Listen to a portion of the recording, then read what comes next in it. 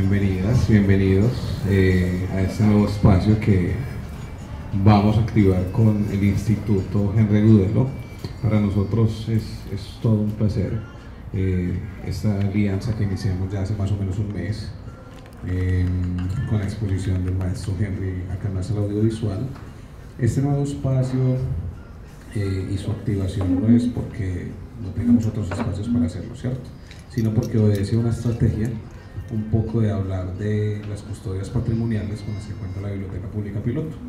Eh, y aparte de eso también darnos la oportunidad de hacer alianza con institutos que son muy importantes y son referentes en la ciudad a nivel nacional, regional y también internacional en, los temas, ¿cierto? En este caso vamos a empezar a activar este espacio de fotografía eh, los últimos jueves de cada mes vamos a estar con una charla acá con el moderador don Cristian Agudelo no siempre va a ser el moderador, me imagino, pero dentro de los planes por ahí está. Y vamos a tener invitados que vamos a, tocar temas de fotografía. Y asimismo vamos a hablar también de historia, de apellidos, de patrimonio y todo lo que concierne al tema del Museo Cámara de Maravillas. Entonces sean todos bienvenidos. El día de hoy arrancamos con, con el maestro y con el fotógrafo Jorge y con Cristian Agudelo. Eh, pueden acompañarnos a hacer, obviamente, eh, difusión también de estos eventos. Eh, en diciembre va a ser la única vez que no vamos a tener eh, el último jueves por obvias razones, sino que lo vamos a hacer la primera semana, ¿cierto? Entonces vamos a hacer una difusión bien fuerte por redes sociales y también con material físico para que estén atentos en todas las plataformas. Bienvenidos, disfruten y recuerden que la biblioteca es la casa de todos. Listo. Bueno, buenas noches para todos. Mm, ¿Creen que está bien con el micrófono o sin el micrófono mejor? Micrófono. Listo, perfecto. Ah, bueno, sí, entonces hagámoslo así. Eh, Jaime, bienvenido a la primera versión de El Café Fotográfico, esta vez en la Biblioteca Pública Piloto. Es todo un honor para nosotros estar aquí. Estamos casi que inaugurando este maravilloso espacio del Museo Cámara de las Maravillas y también la sala audiovisual donde se encuentra la exposición de nuestro eh, director Henry Agudelo. Y bueno, Jaime de la casa, fotoperiodista muy experimentado, eh, de la costa caribe, monteriano, monteriano, con un nombre muy monteriano, Jaime Otoniel Pérez Munevar, y con una historia de vida maravillosa, eh, en la que nos detendremos un ratico porque todo lo que vamos a ver acá es visual que por eso mismo estamos hablando de un café fotográfico. Pero rápidamente me contaste que te graduaste honoris causa del bachillerato. ¿Eso fue cuándo? Eh, sí, buenas noches primero que todo. Eh, darle las gracias al Instituto Henry Agudelo, a la Biblioteca Pública Piloto y a todos ustedes por tener este espacio y compartir un rato de esta charla fotográfica. Bueno, más bien el conversatorio fotográfico. Sí, la verdad que yo desde muy niño emigré del lado de mi papá porque no compartíamos como ideales y me tocó afrontar la vida desde muy niño, casi desde los 11, 12 años, donde pasé desde vender lotería, hacer de muchas cosas, hasta que tuve el primer contacto con la fotografía. Y como en esa época uno comenzaba a ganar plata, la verdad que como que los estudios dejaba a un lado. Bueno, gracias a Dios y gracias a la fotografía, eh, yo me gané en los años 90 y pico, no recuerdo, el joven sobresaliente de la Cámara Junior de Colombia, Golfo de Morrosquillo, y yo en mi elocución decía que uno para surgir no necesitaba estudiar, yo sin ser bachiller, entonces ahí estaba el gobernador de Sucre, el alcalde de Cincelejo, cuando yo terminé mi intervención, me dijeron que si si yo no era bachiller, yo dije que no, y que se me había dificultado para entrar a muchos, después que quería estudiar, porque primero me tocaba terminar el bachillerato. Y fue así como nació la idea del alcalde Merlano de esa vez y se dio la solicitud de bachiller y causa y ustedes saben que eso es un proceso muy largo porque en el consejo estudiantil con una persona que vote en contra, que no esté de acuerdo, se cae todo. Lo tiene que aprobar el consejo si hay alguien que no guste del alcalde, se va a la vida si tú tienes mérito para tener ese título que te están otorgando sin haber estudiado, ¿cierto? Sino por mérito. Y bueno, gracias a Dios todo se dio y, y hoy en día pues puedo decir que yo soy bachiller honor y. Y de ahí en adelante vino el aprendizaje empírico de autodidacta y el paso por talleres diplomados también, por diferentes instituciones, eh, por diferentes universidades, por diferentes fundaciones como la FNPI y una experiencia laboral amplia también, desde trabajando para diferentes medios de comunicación, estuviste en, en, el Heraldo en Montería, en la Casa de la Cultura de Cincelejo, el Universal, Diario El País y el Colombiano. Y pues también me dijiste que te has ganado todos los premios nacionales. Sí, pues hasta ahora, Colombia, gracias los principales. Todos los premios como Simón Bolívar, CTV, el último premio deportivo Postobón que se hizo en el año 96, uh -huh. se lo gané a un fotógrafo de colombiano en esa época, El Vázquez, y a Luis Emiro Mejía del Espectador. Yo vine por el país de Cali. Incluso fue por primera vez que ese premio no lo hizo la organización Aquila Lule, lo sacó de Bogotá para que en esa época el presidente era Samper y como estaba cuestionado por cosas que ya ustedes saben, se hizo aquí en el Hotel Intercontinental en, en Medellín. Y bueno, con la fortuna que tuve aquí premio con una foto que la vamos a ver ahora que se llama Baño de Arena. Bueno, y para cerrar con broche de oro y comenzar la charla ya con fotografías, vale la pena nombrar los tres premios internacionales que te has ganado, que es el Premio Internacional de Periodismo Rey de España en 2002, el Premio Iberoamericano de las Naciones Unidas por los Derechos de la Niñez y la Adolescencia UNICEF en 2003 y el WordPress Photo, el primer puesto en Holanda en 2004 y unas nominaciones pues súper importantes también en premios internacionales. Pero bueno, a lo que vinimos aquí a ver fotografía y comencemos con esto. Por eso mismo el, el, la cumbia al principio que sonaba mejor esta vaina. Así. Era para la corraleja. Para las corralejas, pero es que vamos a hablar de corralejas acá también, ¿sí? Mire, este, cuando ustedes saben que, pronto lo que conocen la historia de la corraleja, eh, una vez se cayeron los palcos hace muchos años en Cincelejo, la fiesta del 20 de enero, entonces la prohibieron. Entonces ellos tenían que inventarse algo y se inventaron esto que se llaman las carreras de San Pedro y San Pablo. De aquí nació el nombre de mi hijo, que incluso por allá me encuentra acompañando, se llama Pedro Pablo, a honor a esta fiesta. Y este fue un trabajo que fue el primer premio que yo me gané a nivel nacional, que fue el premio CPB, con la carrera de San Pedro y San Pablo. Y es una vaina increíble, todavía la siguen haciendo en la costa. Sí, pero cada día tiene menos espacio, porque como cada día hay menos carreras, eh, porque tienen que ser en, en calles de Zapara, entonces le van tapando las, las calles. Entonces cada día... Hasta pero eso, explícanos un poco la dinámica de, de todo. Mira, eh, esto consiste es que, eh, que haga más acroba. Si tú te regresas a la foto, te das cuenta que sale la mujer como haciendo el striptease, después el hombre le contesta, y si tú ves, no es el caballo que corra más, ¿cierto? Como la hípica, acá es el que más número haga, tú ves que va una persona en hamaca, el otro coca como una presa, entonces eso se vuelve en un folclore, entonces, entonces no la, yo. Entonces la corraleja tiene caballos y toros. Sí, no, carrera de la caballos. carrera de San Pedro y San Pablo solamente se hacen en agosto, Son en varios pueblos donde la calle es destapada, ¿cierto? Mira, porque tiene mucho riesgo. Y las corralejas sí se hacen en varios pueblos de, de Sucre, de la costa atlántica, incluso Antioquia, ahora en diciembre, si quieren ir, las hay en Caucasia, las hacen en el Bagre, las hacen en casi que todos los municipios, que, que el Bajo Cauca es como si fuera de la costa, más que de Antioquia, porque las costumbres son más costeñas que antioqueñas. Entonces, esas son las carreras de San Pedro y San Sí. Pablo. Y ya pasando al tema de las corralejas, que es el premio, eh, digamos, el internacional más relevante hasta ahora, que es el WordPress Photo, que lo ganaste en conjunto con Don Henry en 2004. Hace parte de ese premio las fotografías que realizaste para esta serie que se llama Fiesta, Sangre y Dinero, Sí. que es esta serie que estamos viendo aquí. Sí. Este son, por primera vez nosotros mandamos a eso, eh, yo le comenté a Henry cuando, porque lo que pasa es que la corraleja cuando uno se cría con ella hay cosas que para uno es normal, para otra persona no. Entonces yo siempre me dediqué a la foto de acción como esto y todo. Cuando vinieron aquí que la trajeron para la fiesta de las flores, le dije yo a Henry, Henry, ¿por qué no vamos a la corraleja en Sabaneta? Me dijo, no, a mí no me gusta eso, Y yo, pero vamos y aprende, ¿cierto?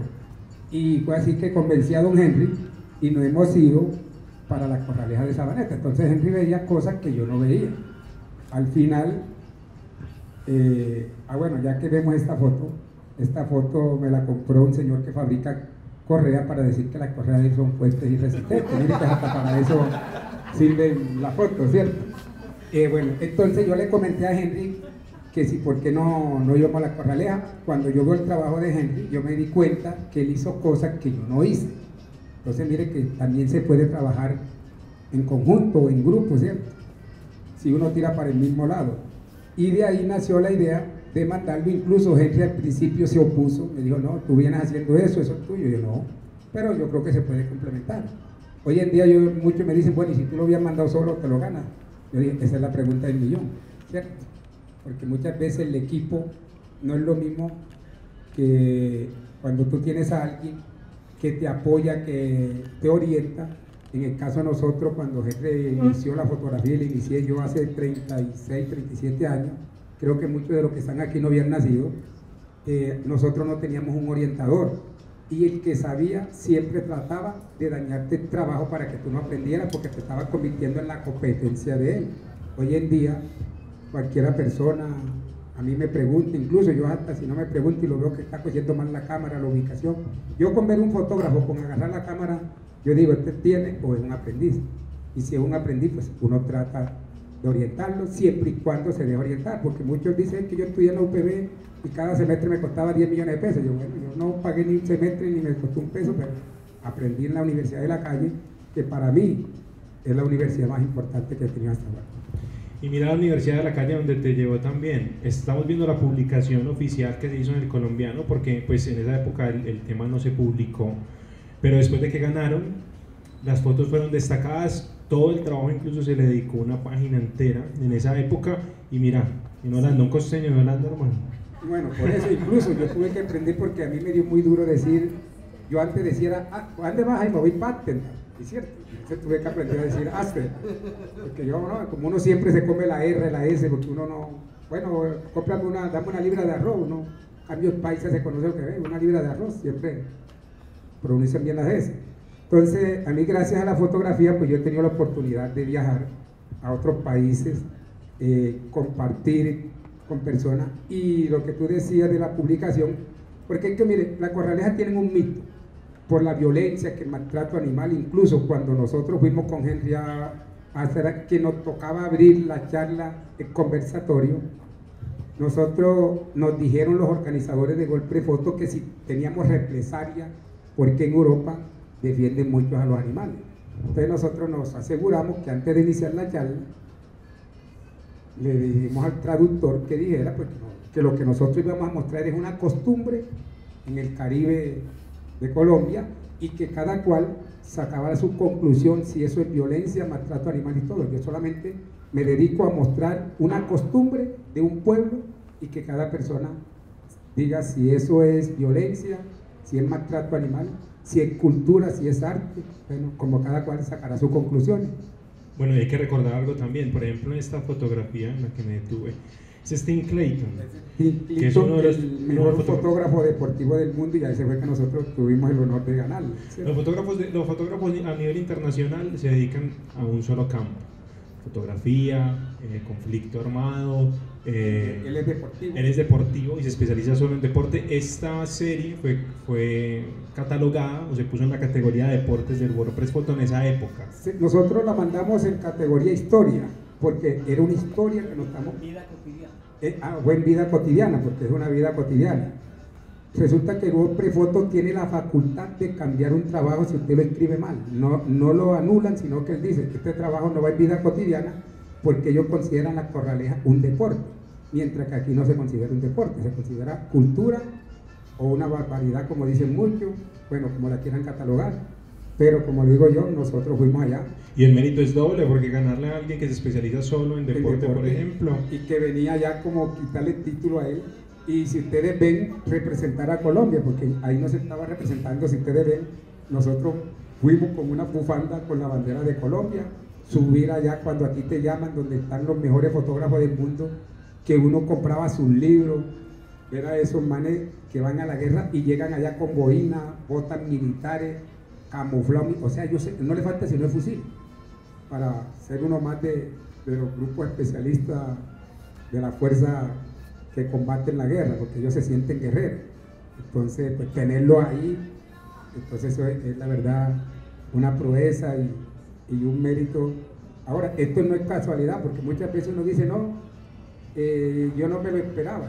Yo se lo digo, yo mando un concurso es a ganarlo, yo no mando por participar, porque si voy a hacer volumen prefiero que entonces vaya otro con más opciones. Pero yo cada vez que mando un trabajo lo evalúo. Incluso muchas veces con Henry cuando era editor del periódico, que fue mi jefe, nosotros nos reuníamos los fotógrafos y muchas veces nos eliminamos. Y como él me decía que yo era muy terco, entonces yo decía, no, esta foto me gusta y la mando. Y ganaba. ¿Cierto? Porque ellos me las eliminaban, yo no, yo la voy a mandar porque me gusta. Entonces yo después adopté por coger a la señora de los tintos, al vigilante, al, del aseo, y le preguntaba, le mostraba, ¿te gusta esta foto? Uy, ¿cierto? pero si yo se la mostraba y lo veía dudando, ahí no hay nada. Entonces yo veía, no, qué berraquera. Entonces ellos se emocionaban solamente viendo la foto. Pues yo dije, listo, la voy a mandar a nombre de ellos. Incluso y por eso cuando siempre me ganaba un premio, tenían el regalito, porque eran como los asesores que se convertían en uno. Bueno, estas fotografías hacen parte de tu archivo de Corralejas, ¿cierto? Sí, sí, son muchas. Lo que pasa, mire, cuando yo muestro esta foto, muchos se han ido a las Corralejas, porque ellos piensan que se montan en el palco una corraleja y todo les va a suceder ahí. Resulta que una corraleja puede tener de 150 a 200 metros cuando son fiestas grandes. Diferente sucede en un, circo, o sea, en una plaza de toro que, eso tiene, y usted donde esté va a ver el toro ahí. La corraleja, si usted llega y se pegó tres guaros, se metió media de guaro y se siente berraco para hacerle al toro, incluso usted va y se le mete y si no tiene la manta se quita la camisa y nadie le prohíbe. Entonces muchas veces hay más gente dentro de la corraleja que arriba de la corraleja. O sea, ya nadie le prohíbe a usted que usted vaya a la corraleja. Métase, se siente berraco, métase. Incluso hay mujeres, si ustedes ven una foto anterior, creo que por ahí estaba, esa es una mujer, que ya son banderilleras, pero son gente que se prepara, que son, la mayoría de estos manteros, porque no son toreros, sino manteros, son de que criado en finca con el ganado, que mantean y saben lidiar. Los garrocheros son caballos criollos. Si ustedes ven, este tipo no tiene un traje de luz, eso es un pantalón jean, una camiseta que muchas veces se la da ganadero.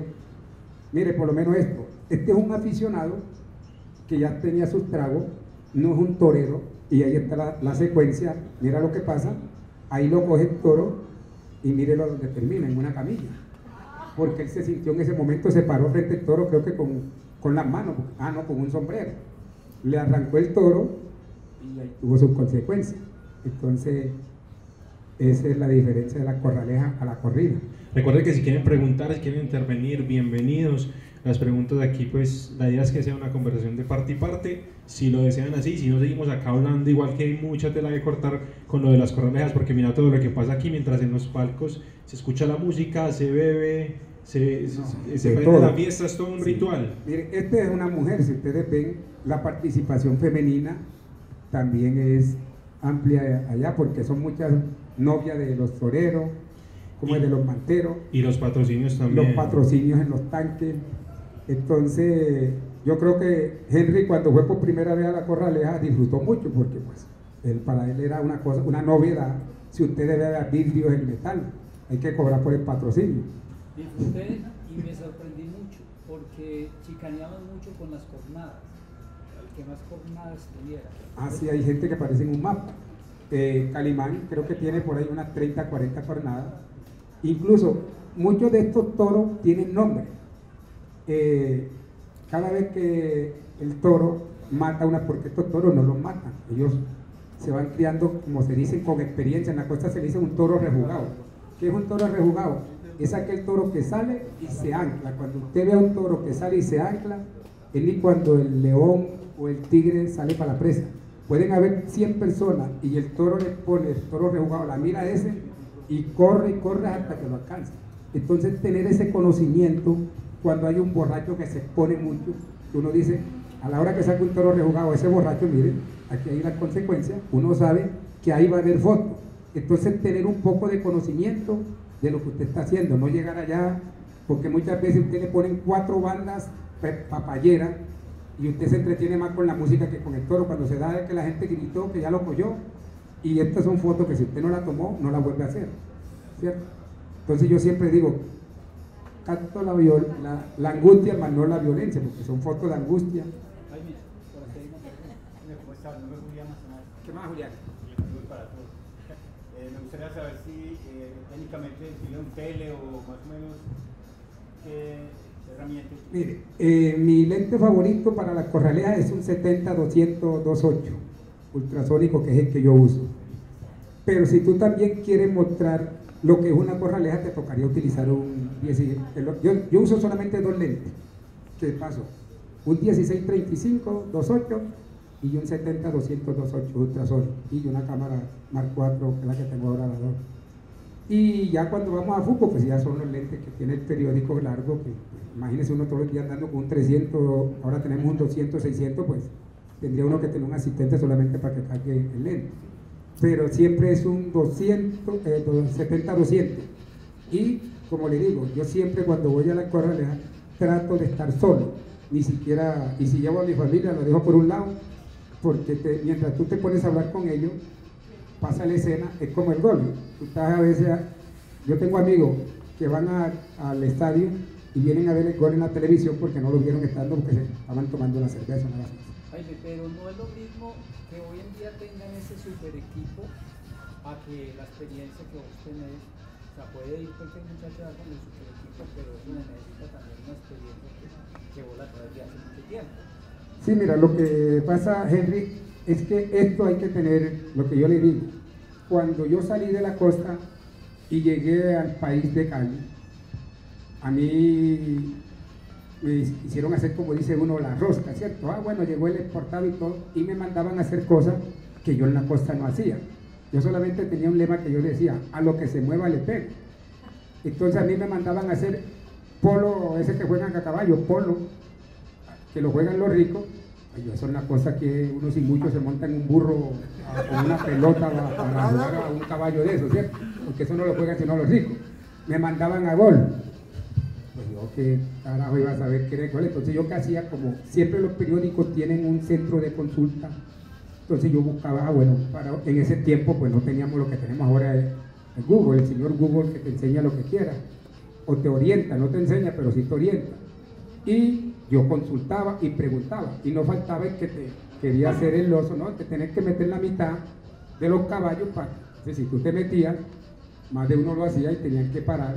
Incluso en la costa cuando iban los paisas a cubrir béisbol, habían fotógrafos malos que le decían a, a Rolo, mira, te tienes que meter atrás de la segunda cuando man se pasa. Entonces el man se iba para la segunda cuando de pronto el árbitro paraba el partido para sacar fotógrafo que estaba atrás de la segunda base. Entonces, yo creo que cuando uno no tiene un conocimiento, eh, es como analizar eso, preguntar, indagar. Y lo bueno que ustedes tienen ahora, nosotros yo arranqué con una Olympus Pen, que era la que triplicaba la foto y se miraban por un, ¿cómo se le llamaba eso? Un telescopio chiquitico y era de positivo, ¿cierto? Que se, el, el negativo era positivo la diapositiva y uno lo miraba, que se paraba la gente en los pasajes comerciales y tomaban esa foto. Ahí me tiene una pregunta por acá. Bueno, primero felicitarlos por este espacio porque esto enriquece, digámosle, a todo el mundo audiovisual. Ahí me lo conozco hace muchos años, dado que yo soy corresponsal de Noticias 1 hace 23 años, actualmente soy camarógrafo y periodista de Noticias 1, trabajo solo acá en Medellín, vengo por invitación de Jaime. Me generan muchas eh, dudas, sobre todo hablemos de historia. Cuando usted inicia, ¿cuántas, por ustedes estaban limitados al tema del rollo, ¿no es cierto? Hoy en día, digámosle, ya el rollo es el problema que tenían ya para cargar, el rollo y, 24 o 32 fotos, ¿no es cierto? ¿Cuántas fotos tomaba o cuando inició? ¿Cómo fue evolucionando? ¿Y hoy cuántas fotos se toma para ser publicadas en, bueno, en un Aquí sí se puede decir eso que uno decía que es factor suerte. Yo cuando inicié jamás pensé tener la cámara que tengo hoy. Hoy tengo un equipo de 15 mil dólares, que está casi en 50, 60 millones. No es mío, pero ahora es mío porque lo tengo en dotación. Y yo cuando inicié, era que usted a veces se lo olvidaba transportar, porque ni siquiera la cámara te transportaba. Usted disparaba y él tenía una ruedita, ni siquiera una palanca, era una ruedita, usted le tenía que hacer así, le da trancaba y, y otra vez tele con entonces usted tenía una agilidad en el dedo que era una berraquera. Este dedo yo creo que por eso está más gordo que los demás porque de tanto darle esa ruedita. Ya después y ahora, y no era focal, era un muñequito, medio muñeco, un muñeco, tres muñecos y una montañita. Si usted iba a tomar una carita, la ponían en medio muñeco. Si iba a tomar un cuerpo entero, en un muñeco. Si era un grupo, tres muñecos, y si iba a tomar un paisaje, era la montañita. ¿Cierto? Y, y uno miraba diferente que por el visor como ahora. Entonces muchas veces le pasaba a uno que uno le ponía la tapita para que no se, no se rayara el lente o se llenara de polvo, que en ese tiempo no había ni filtro. Y resulta que uno comenzaba a tomar foto y tomé foto y tomé foto y había un man que le decía, tú no tomaste ninguna foto y hacíamos, ah, que yo sí la tomé y apostamos y resulta que era que se te olvidó de quitarle la tapa al lente. Entonces tú estabas tomando foto con el lente tapado. Entonces a uno le pasaba las cámaras sincronizaban en 125 y algunas en 60 y en 30. Entonces, si usted sincronizaba la cámara en 60 y le ponía flash y si iba a hacer un matrimonio y la tenía en 125 y si la cámara sincronizaba en 60, todas las fotos salían cortadas. Entonces ahí se perdió el matrimonio, el insulto de si hacían matrimonio.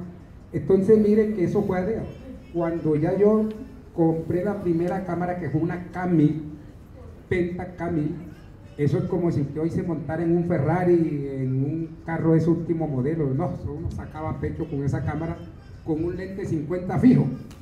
Recuerdo yo que era 1.228. Entonces yo vengo con el proceso de la fotografía desde que había que preparar los químicos. El editor y todo, y uno con un palito y una resistencia, porque en ese tiempo tenía una caldera con una resistencia, o con una estufita de esas de gas que era de mechita, de petróleo para calentar el agua para poder derretir los químicos y preparar eso. O sea, hoy en día un muchacho quiere estudiar fotografía y es de buena familia, se compra una cámara mejor de la que uno tiene, llega con una cámara ya de 30, 40 millones de pesos. Pero como les digo yo, hoy en día la fotografía ha evolucionado para que usted piense sino que nosotros cogemos esa cámara y parece una metralleta, uno hasta se le falta más del lado porque uno piensa que está en una guerra, y el tipo parado, y yo digo, si uno con 5 o 6 fotos no toma una foto, tiene que estar muy de mala que uno en 5 o 10 fotos le sacan todas con el ojo cerrado, ¿cierto? Entonces la gente piensa que contra más fotos toma, no, yo creo que la cámara digital te da para pensar más. Por lo menos esto, mire, aquí es donde uno dice, no sabe uno cuál de los dos más animales. Mire esta foto, analicen bien el toro, lo que está pasando ahí. Y la foto que sigue, miren lo que sucede. ¿Cierto? Entonces uno ahí es donde dice cuál es más animal, el que va montado o el que está atacando. Y estas son cosas que suceden en la costa. Eso no me lo invento yo. Mire este. Esta foto la hice en mis vacaciones. Yo a veces me voy para la costa de vacaciones, me llevo la cámara. Esa foto la hice en San Pue hace como tres o cuatro años. Todavía gente estaba allá y bueno, y estos son como ambientes de corraleja. Y las corralejas como se viven arriba en las tribunas y, todo, todo eso es montado y desmontado. Son, sí, la fiesta, esta fiesta, esas corralejas comienzan a montarla más o menos un mes antes, porque eso es de madera. Y tienen que ser, y ya tienen más control, porque recuerda, después que se cayeron las del 20 de enero, que hubo un poco muerto, entonces si usted ve, mire, ese señor es un pato, como dice uno allá, se mete con gafas, si ustedes ven la frente tiene las gafas, mire el gorrito esa foto fue para época... Ni, ni, son de la costa, los que se meten. Muchas veces no son ni siquiera de allá. Le sucede mucho más a los países que son más berracos y se le lanzan esos toros a ver qué son. Mire, y ahora usan hamaca, mire. Entonces ese tipo se ve las corralejas gratis para no pagar la entrada, porque usted si va a los palcos tiene que pagar. ¿Y la publicidad política en todo No, en todo el asunto, mejor dicho. Eso es para entrar nuevamente. Y hay gente especialista, porque esos son cuadrillas que desde el amarrador de toro porque muchas veces el toro no quiere regresar y es igual que tienen que regresar, aunque yo no lo mato. Y vimos, vimos una, una escena donde en una bar, en una jarrón de barro metían una gallina. Ah, sí, ahora se inventaron en esa, allá se le dice tinaja. Mire, por lo menos aquí le doy la respuesta a usted, este es un lente, me dice sobre toril, tengo que pedir permiso porque ahí no pueden estar sino lo que suelta el doctor para poder hacer esa foto pero más como una foto ilustrativa, ¿cierto? Como por decir, bueno, que es una corraleja, porque muchas veces los costeños saben que es una corraleja, pero hay gente, incluso de aquí de, Colombia, que no han ido a una corraleja, sino que las ven. Mire, si ustedes ven, todo lo que tienen ahí en la soga son vaqueros de las grandes haciendas de la costa, que cuando hay fiesta y muchas veces son, trabajan con los ganaderos que porque allá el ganadero saca pecho, porque eso lo califican. Si son seis tardes, ellos se juegan un trofeo, la mejor tarde de toro, y le dan un trofeo y eso les abre puerta a ellos para próxima fiesta le, les alquilen, porque allá no los compran los toros, sino que los alquilen. Y mire eso. Las fotos de, que ganaron el World Press Photo fueron tomadas donde en Sabaneta o en Cincelejo. Eh, las de Henry se hicieron en Sabaneta. Eh, las mías las hice en Cincelejo. Incluso la foto del toro negro parado fue hecho en un festival taurino, que ahí se lo inventaron, pero solamente entraban los que eran toreros. Y esa foto se hizo dos veces. Si usted vio la foto del toro pintado, son los mismos personajes con diferentes toros. Este es un toro criollo, mientras que el otro negro es un toro miura. Ok, otra pregunta. Eh, en, esas, en esa foto vi una que se tomó desde, desde abajo. Pero después de en esta foto que han mostrado, no he visto eh, las fotos debajo. O sea, debajo del palco es un mundo diferente. Un mundo, diferente. El burladero. Eh, no, no, no, no es el burladero. Es, es, inclusive hacen unos palcos, de, los palcos principales, hacen eh, Fue la foto con que abrimos la corraleja. Esa foto en realidad no es mía, sino que la hizo Henry. Esa es de la parte de la foto de Henry, lo que yo te decía. Yo fui 30 veces a una corraleja y me metía por ahí, eso sí, nunca me metía a ruedo, porque yo soy más cobarde que el diablo. Yo sí no me le paro un toro de eso. El pirri incluso a través de eso él tuvo, y ese sí se metía con una cámara y correteaba al doctor y más de una vez ganó su rebuscada. Pero sabes, te, voy a, te voy a confesar, o les voy a confesar algo porque yo, bueno, yo primero, eh, yo nací en Corozal Sucre y desde pequeño, porque es una costumbre. La foto de toro negro es de Nelson Martelo, que es de Corozal. Ah, sí. Y, y, resulta que uno desde pequeño lo llevaba, el papá lo llevaba uno a las corraleas. O sea, y todavía creo que hay menores que, que pueden ingresar. Entonces uno desde pequeño está viendo esa, esas corralejas por todas partes. Yo también los veía ustedes mucho por ahí este, tomando fotos en, San Pues, en, Colosó, bueno, en varias partes.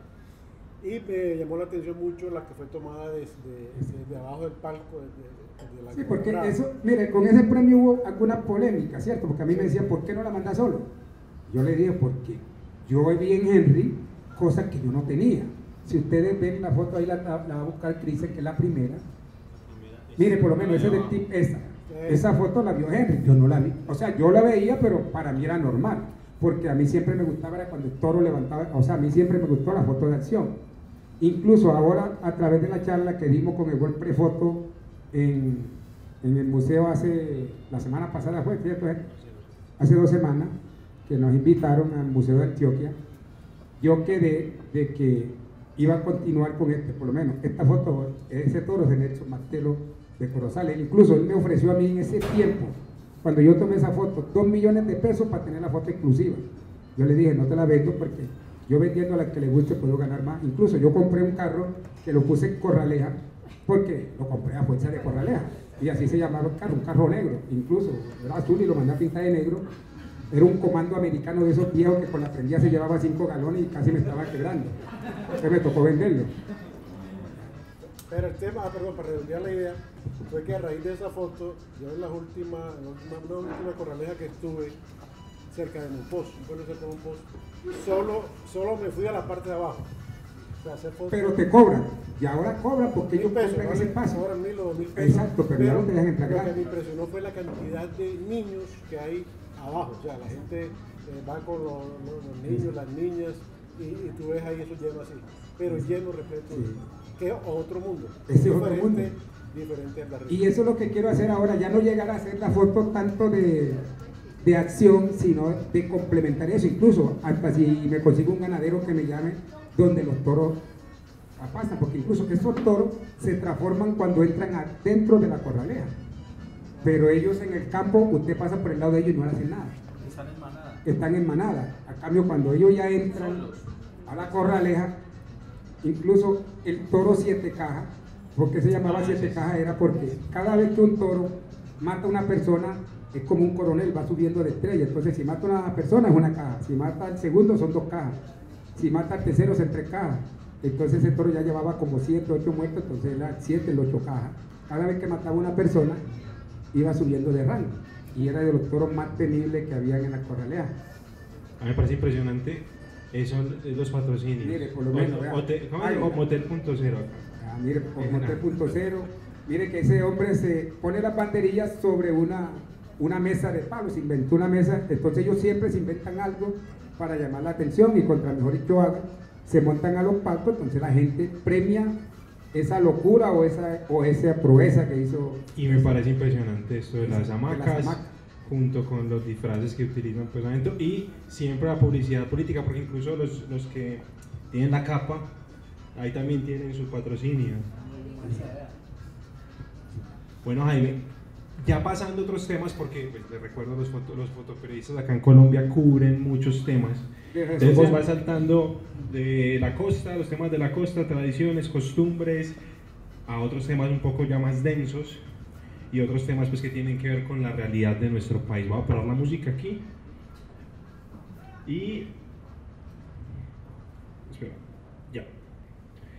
Porque vamos a continuar con este otro tema, que es un poco ya más denso, pero que Eh, igual les toca a, a los, a a los fotógrafos acá. Nosotros hablamos incluso en el instituto que, que es muy difícil en Colombia hablar de, hablar de fotógrafos de guerra porque ustedes están en todo. Entonces van a un partido de fútbol, después van a la Feria de las Flores, después van a, al monte a cubrir X o Y conflicto y les pasaba mucho en esa época. Entonces para que hablemos de, de este tema. Muchas veces nosotros veníamos de un reinado de, la Carta- de Cartagena, de Beccurp y todo, cuando llegábamos se tenía que ir por una masacre del Urabá, no para mí, yo por lo menos. Esta foto que ustedes están viendo, ese muchacho que está ahí, fue cuando se le metieron a los paras en tierra alta a la guerrilla. Entonces, ¿cómo hacen ellos el rastreo y saben que es guerrillero? Le hacen quitar la camisa y si tiene la marca de los morrales, sacan conclusión que es uno de los guerrilleros. Ese muchacho le dicen el pocillo, lo capturaron. Incluso cuando yo estaba allá, porque yo tuve que pedir permiso para poder entrar a esa zona. Sabe que en Colombia hay zona vetada, que hay que pedir permiso y si usted le dice no lo queremos ver aquí, tiene dos minutos que se vaya, se tiene que ir. Lo cogieron, los que están ahí todos son para. La foto que sigue, mire, tiene un tiro incluso en el brazo y mire la oreja, por eso le dicen el pocillo. Él después tuve información, después que salí yo, eso fue en el nudo Paramillo, ahí más de 30 muertos llegaban a la represa de Urrá. Ahí, estando yo incluso allá le pasaban el cuchillo. Habían fotos que yo no me atrevía a tomarlas. Incluso una de las fotos que yo me, me arrepiento o no sé si qué había pasado si la había tomado fue una vez que yo llegué a los llanos y estaban los paras jugando fútbol con una cabeza humana. Entonces yo decía, ¿la tomo o no la tomo? Y yo decía, bueno, y si la tomo y de pronto después balón va a ser la cabeza mía. Entonces uno también, y ellos te dan, lo que pasa es que esta gente está al margen de la ley y ellos te hablan una sola vez, no te repiten. Entonces un policía le dice, no pasen por aquí y usted se le pasa por abajo la pierna y se va corriendo porque usted sabe que no le va a disparar. Pero usted allá le dice, no puede tomar una foto y no puede tomar una foto. Incluso Henry cuando estaba en el tiempo, tenía un fotógrafo, Fernando Vergara, que hoy es fotógrafo del AP, entró a Caguán cuando estaban saliendo los militares de la base, por cuando fue la zona de distinción, y él se quedó y a nosotros nos dieron un salvoconducto de la presidenta para poder andar en el Caguán. Nos fuimos para un río, el río Caguán, cuando veníamos nos paró la guerrilla. Y como él estaba barbado y todo, lo confundieron que era un chulo, que era, un, que era uno de los militares, incluso y lo bajaron de la chalupa donde veníamos y se iban a quedar con él. Entonces nosotros, todos los fotógrafos, periodistas que íbamos, eran como tres o cuatro lanchas, porque era el único que no tenía el carnet. Entonces cogieron un teléfono satelital para llamar a tiempo y nosotros rogando que ahora nos fuera a contestar un vigilante nuevo que no conociera a Fernando Vergara porque corría la vida. Entonces ese es el riesgo que uno tiene. Imagínese un vigilante nuevo. Mire, usted conoce a Fernando Vergara. El tipo lleva más de un mes metido en el caguán y diga que no, ahí hasta ahí le llega la vida a ese personaje. Mire, por lo menos esto, ojalá, después de la reconstrucción de la iglesia. Por lo menos este es Henry Agudelo, fotógrafo de la red. Juan- Romero. Henry Romero. Él, nosotros cuando hubo el secuestro de la María, yo trabajaba en Cali y nos fuimos para las montañas que a buscar, a ver si lo veían y por allá lo cogieron. Este tipo tiene una historia, siempre que los helenos hacían algo, él estaba ahí. Quemaban un carro, él estaba ahí. Eh, tumbaban una torre, él estaba ahí. Y uno iba con él, él pasaba y uno no lo dejaban pasar. Incluso antes de este secuestro, yo tomé una foto donde a él le desactivan un carro bomba frente a la casa. Entonces, a mí en mis conclusiones, la guerrilla hizo este secuestro para salvarle la vida a él y se pudiera pedir un asilo. Incluso la chaqueta que tiene ahí se la dio el man de Caracol, el negro Mina, que está todavía en Cali, y a él se lo llevaron y él se iba a llevar la cámara. Entonces yo le quito las cámaras.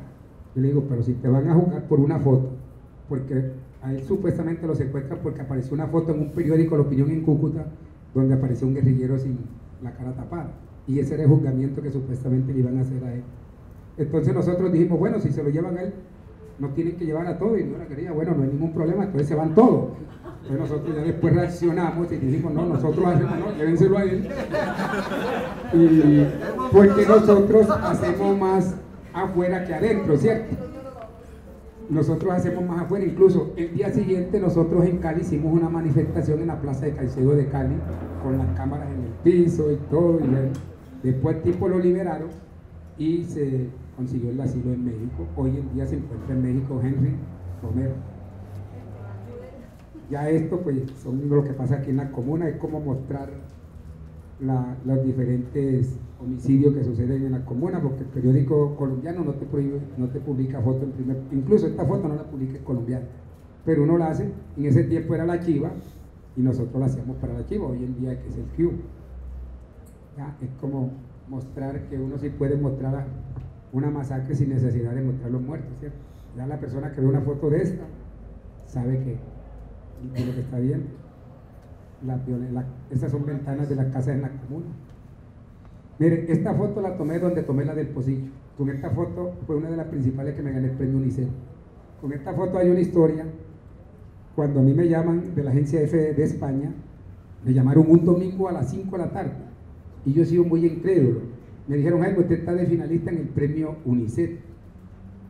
Con una foto los siete pecados, porque eran siete fotos de los siete pecados de Jaime Pérez, así la titulé yo y así la publicó el periódico.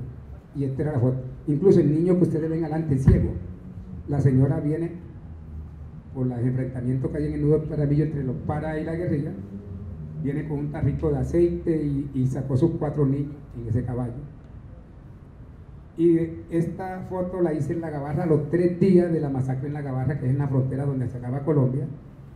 De esta foto hay una historia que con Glenny Megollón, que hoy es, trabaja en una de las fundaciones de esa defensora, prácticamente nos tocó pagar un carro, comprar un carro para poder ir de, de Tibú a La Gabarra, que es una...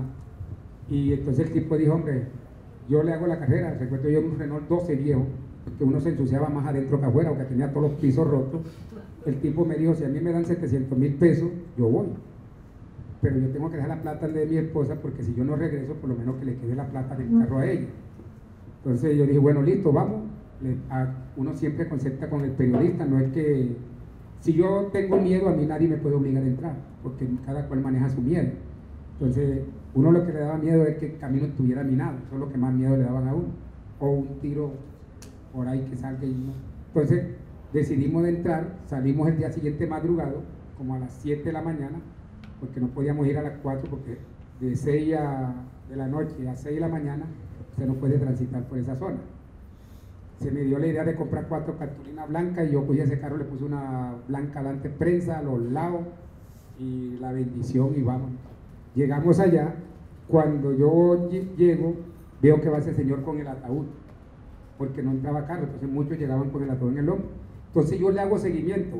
Para yo lograr esta foto hice por ahí unas 30, 40 fotos. Cuando eso, creo yo que tenía la primera cámara digital que era de 24 fotos. Entonces yo tenía que conservar, no como ahora que la memoria dispara 30, 3.000 fotos. Y, tenía que estar ahí y yo le hice seguimiento cuando veo que va saliendo este señor con un niño. Y esa foto la titulé yo La vida y la muerte. Con esa foto me gané yo más o menos unos 8 premios, incluyendo de, la revista Semana buena Cabana. Ya estas son historias. El hogar juvenil campesino en La Beiba, Mutatá, esa zona, que uno dice, esta, la mayoría de estos jóvenes son de la comuna, de los indígenas, que vienen a estudiar a la, a la ciudad porque viven lejos. Mire las condiciones en que estudian esta gente.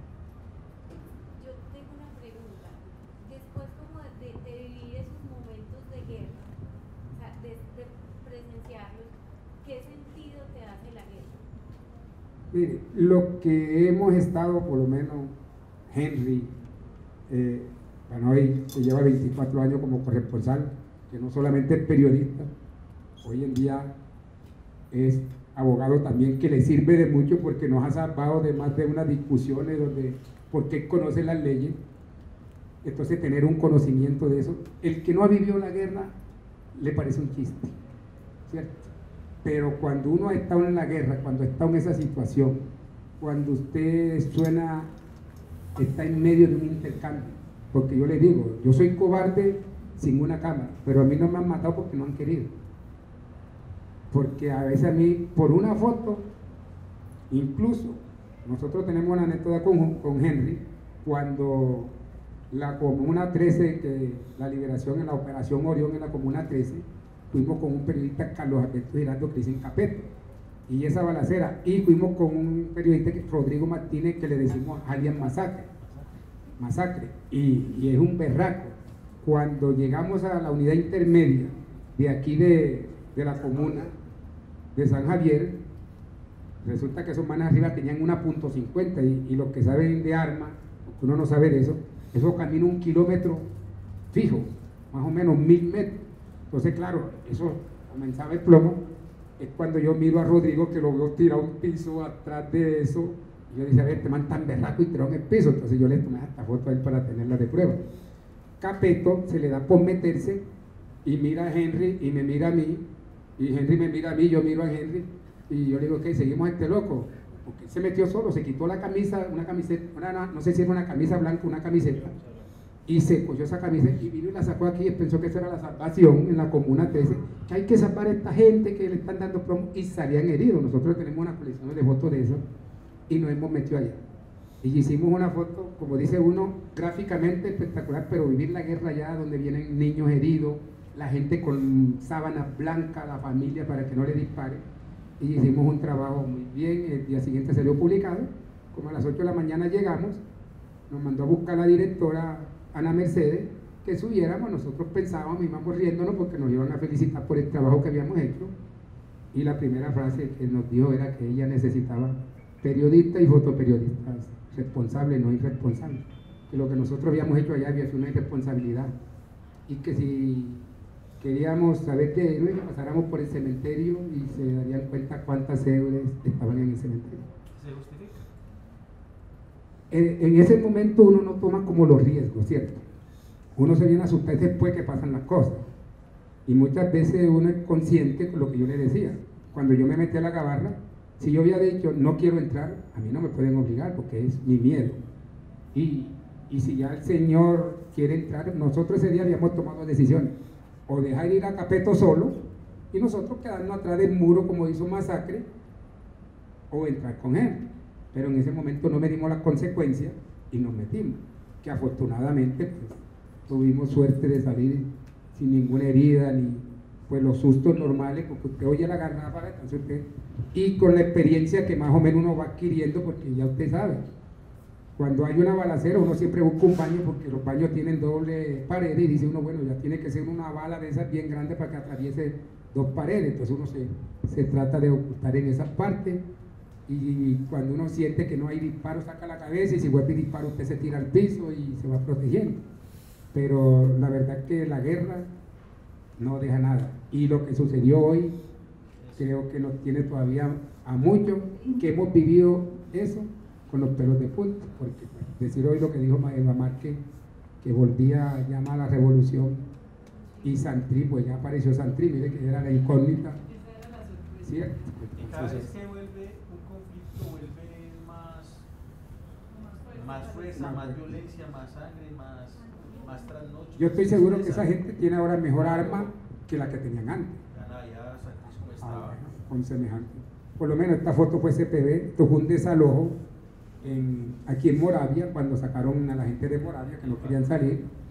Entonces, como mirar, por lo menos la foto que sigue, ese fue el estudiante de la Universidad de Antioquia que murió en el páramo de Belmira por hipotermia, ¿cierto? Que se fueron varios, se perdieron y no era tan difícil entrar allá, entonces a mí no me dejaban entrar. Entonces, cuando vos tenés experiencia, yo cojo esta foto por un niño, porque los niños son muy curiosos y se saben la zona. Entonces yo hablo con él y me digo, oiga, periodista, si quiere me da mil barras y yo lo meto por un camino que yo sé. porque lo tenían bloqueado la policía y lo de seguridad. Entonces yo le dije, listo, no te voy a dar mil, te voy a dar uno de mil grande, te voy a dar diez mil. Y me metí y dejé al conductor pendiente porque este, Belmira tiene dos bajadas. Entonces los socorristas nos dijeron que lo iban a bajar no por la que sale al pueblo, sino por la, parte de atrás. Entonces yo le dije al conductor, hermano, tú me monitoreas, que si tú sabes algo me dices que yo me peloteo por ahí, pero esa parte hay que seguir. Cuando veo que vienen, yo me escondo en una loma para que no me vayan a sacar. Y resulta que allí estaba el punto, vea como traen al muchacho en lomo de mula, incluso eso para la medicina legal no es bueno porque ese venía más o menos unas dos horas para bajar eso. La misma mula puede estropear y, y confundir los hechos. Esto fue, lo hice en el Chocó, si usted ve, es un militar que tiene el salmo en la camiseta, o sea, a pesar que están en la guerra, siempre tienen, cuando secuestraron al, al general ese, que eso también es un misterio. Sí, de la, ya, ya estos son fotos de la comuna, de la guerra de la comuna. Esta la hice hace poquito, lo que está pasando en Jericó, la forma de protestar la gente de la minería. Ya pues estas son fotos de violencia que uno, esto lo hice en el río Cimitarra, donde en un planchón van por ahí 200 personas cuando regresaron nuevamente a esa zona, el Cimitarra. Y ya nos falta la turista que se va de curiosa también en el río Cimitarra. Ya todo esto pues se lo encuentra uno ya en la zona de Cauca, yendo para Toribío, porque esta gente la diosa. Esto es, estas fotos son de las primeras que yo hice, eso es ese que está ahí, Gonzalo Rodríguez Gachille, que está al lado del libro. Yo fui el único fotógrafo que tuve porque yo trabajaba en esa zona. En Tolú. En Tolú. Él lo mataron en Batigá. Aquí está Gacha, el hijo que cede, y los otros cinco escoltas lo mataron en la finca La, la Lucha, que es una media hectárea, saliendo en Batigá, llegando a Tolú. Incluso, y aquí es cuando la mamá llega a sacar a Ede, porque ellos los tiran en una fosa común. Yo tengo una secuencia de esas fotos Incluso cuando él lo matan, Poncho Zuleta, un cantante de música vallenata, está cuando él lo están tirando. Y el empresario se da cuenta que yo tomo la foto, después me fueron a buscar al Universal, en ese tiempo trabajaba, y me ofrecieron plata, yo le dije que yo no le recibía plata, que si quería me hacían un disco, dije no quería disco, que no se preocuparan que yo no le iba a publicar la foto. Incluso ellos para irse tranquilos, yo tuve que darles negativo, porque ellos se vuelven tan incrédulos y hoy en día me arrepiento de haber dado ese negativo. Por lo menos haberle dicho, pero ellos no confiaban en la palabra. El disco al menos. Ah, o por lo menos, no, por ahí hay uno que ya están a Jaime Pérez, pero. ¿Ya? Entonces eso, ya esto fue en Nuki cuando se fue la luz en los hospitales trabajando en vela la enfermera. Entonces a uno le toca, esto es en, Yaru, Yarumal, donde están los NN, toda esa tumba que usted ve, esto son la, lo que yo te digo, aquí se puede decir esa foto, conciencia e inocencia los niños gozan y hay un intercambio de balas en una comuna y ellos para ellos risa, ¿cierto? Entonces son cosas. Esta foto es muy chistosa porque fue cuando se perdió el niño en el oriente que después lo encontraron cerquita donde él estaba jugando que se fue a un pozo. Entonces muchos carros se buscan niños, se buscan niños y uno se encuentra esta foto. Yo cuando voy en la camioneta, que nosotros siempre andamos en los carros del periódico, yo siempre ando con el 70-200. Yo nunca trabajo, o trabajo manual o trabajo en TV. Son las dos velocidades. TV porque yo manejo la velocidad. Entonces yo digo, voy a trabajar con mil, porque muchas veces cuando usted está en programa, si hay poca luz, la cámara ustedes saben. Y el consejo que yo le doy, cuando un fotoperiodista o un fotógrafo cualquiera maneja la luz, no hay excusa para que no haga una foto. Si usted maneja la luz. No, yo tengo una cámara ahora que llega a 58 mil de ISO y le he utilizado hasta 20 mil de ISO cuando estoy haciendo espionaje en el parque que no puedo utilizar el flash. Y es una cámara, por lo menos la foto, pues me ayudó la del Contralor, el que me ayudó que día porque él no da la cara, siempre de espalda. Y este dijo, camina, venga, se fue con el celular, yo me fui atrás de él, cuando él se quita, yo cojo la cámara y le meto la ráfaga, que fue la foto que publicó ayer el colombiano del Contralor con su copata de frente porque él hay que o cogerlo a la entrada cuando lo llegan con esposa o a la salida, porque él no da casi la cara ya. Y ya pues, como y ahí saltamos deporte, en ese contraste del que hablábamos desde el principio a deporte. Un fotoperiodista tiene que hacer de todo. Yo hago sociales. El día que de la exposición de Golpe Foto que me sacaron así, me dijo, ese que está haciendo sociales es ganador de un Golpe Foto. Entonces dijo Federico, bueno, yo que hago aquí, que venga Jaime y hable, que es ganador de Golpe Foto, y de ahí nació la idea de la charla de Golpe Foto. son fotos de, de, natación, de competencias de clavados. Mire, este tra uno parece que es mentira, pero cuando usted tiene un orientador, la cosa funciona. No para repetir lo que él hace. Si muchos de los que están aquí estudian en el Instituto Henry, y yo soy uno, yo creo que yo soy el publicista más grande que tiene el instituto, a pesar que yo inicié con él y estuve incluso, di clase, la mejor alumna que yo tuve fue una señora de ochenta y pico años que ahora está recorriendo el mundo y, casi que fue personalizado y esa señora me adora, por ahí nos escribimos y por circunstancia cuando después Henry sale pues es obvio que a uno le, el tiempo yo no manejo mi tiempo, a mí me manejan el tiempo. Entonces muchos de ustedes tienen la oportunidad de decir me voy para la Sierra Nevada de Santa Marta con los indígenas por allá 15 días lo pueden hacer si tienen plata. Yo no puedo hacer eso si el periódico. No he podido terminar la corraleja porque no me dan a veces necesito cuatro o cinco días para ir a Caucasia me dicen, no, man, si a veces puede darle un día compensatorio a uno, lo piensa cuando uno tiene una cita médica uno y lo piensa, no, que, mire, que, y como cada día los fotógrafos que están echando no lo están reemplazando, entonces si se van dos, lo que quedamos tenemos que tapar esos huecos de esas dos personas. Entonces el trabajo cada día se aumentaba. Entonces lo que yo les decía, los que estén aquí y no aprovechen a gente, y yo les digo, así se los digo cuando yo, ¿usted que le gusta la fotografía? Sí, yo quiero que yo estudio en no sé qué labio, mire. Incluso una vez le mandé a un estudiante que estudió en Argentina y donde dicen que Argentina es de los países donde se aprende mucho fotografía. Y la pela vino, como dice uno, en cero. Yo le dije, mire, váyase para el Instituto Gente Si usted no aprende fotografía allá, no vote más plata. Así se lo digo de una vez. Si ustedes no aprenden fotografía allá, no vote más plata. Hoy en día esa pelada está recorriendo un mundo de fotógrafos de la UIC, de la Liga de Antioquia, se llama Clara Espinosa, es Erika Espinosa, y la pueden seguir en Facebook. El trabajo que ella viene haciendo en la Liga de Antioquia, vinieron una vez un campeonato internacional y le vieron el trabajo, y hoy en día trabaja con la, no sé, la Organización Internacional de Natación, y en cualquier evento a veces me manda fotos de la China, de Noruega, entonces, mire a dónde llegó esa muchacha y salió del Instituto Gente Agudelo. Por eso ella me dice que no ha podido venir a las prácticas que vienen los sábados, porque la verdad pasa, cuando uno está en Colombia viajando, está afuera y salió de allá y es una berraca y es una mujer. Ahí me, me tuve en esta foto porque acá hay historia Mire, eh, ustedes saben que el año pasado se hizo el primer encuentro que de Rigo. O, de Rigoberto Urán. De Rigoberto Urán, el ciclista. El ciclista y vino por primera vez Chris Froome a Colombia. Si ustedes analizan, ahí está Chris Froome, búsquelo. Está Ega Bernal, Egan, porque no es Egan, sino Egan Bernal, ¿cierto? Bueno, está Rigoberto, y bueno, mire, hasta el perro. Entonces son las cosas curiosas que tienen ahí. Entonces, como, están como pendientes. Y yo le digo a los amigos, mire, yo hice cuando comencé la fotografía, yo aprendí haciendo pruebas. Revelaba rollo blanco y negro a color, el rollo de color a blanco y negro, me salían sepia, pero yo así invento. Y así fui aprendiendo, entonces no me salían las locuras. Y, ya. ¿Y qué pensar, por ejemplo, del de, proceso de la foto, pues de, de, tanto, de tanta manipulación que puede hacerse hoy en día? Por eso, eso va en la ética tuya.